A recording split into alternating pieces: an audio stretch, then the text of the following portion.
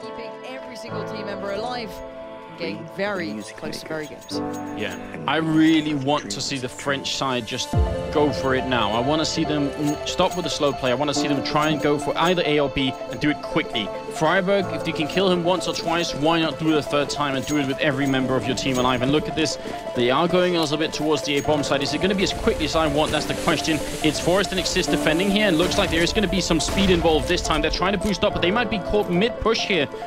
Oh no, a little bit too slow. Actually, the push is out. f0rest Xizt. They get a kill each. A great start for NIP. And GeT_RiGhT comes in. It's Green with a double triple. Oh my god, oh, all headshots. It's going to be Shoxy in a one on two. Can he do it? He gets the one. It's down to a one on one with friberg. And there's more than a minute left. They're gunning it out at a long range. And Shoxy has the bomb. An incredible turn of events. And very games, they could push us to a third map on the back of this one round. And there's the dual screen. friberg is smoked out of the bomb side. He's going to have to flash and run through. The bomb goes down. Shoxy is still alive. And now he's waiting. He has the upper hand here. The momentum boost. He's peeking out. friberg is there, not getting the kill yet. Half HP for both players, and he's just waiting for it. Oh my god, and here comes the juking again. friberg is a master at this, but Shoxy, he's not half part either. He just has to buy time. friberg comes around, and Shoxy, there it is. Oh my god, the clutch of his lifetime. 14 to 10. That is a massive round for Very Games.